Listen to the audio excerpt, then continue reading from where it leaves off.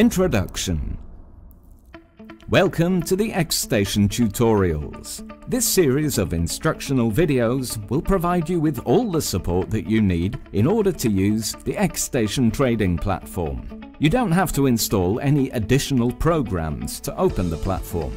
X-Station enables you to trade online using your web browser. All you have to do is to go to the dedicated website and authenticate yourself with your user ID and password.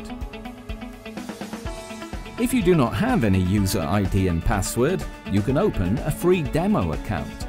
To do so, go to our web page and click on the Open a Demo Account button and fill in all the necessary fields.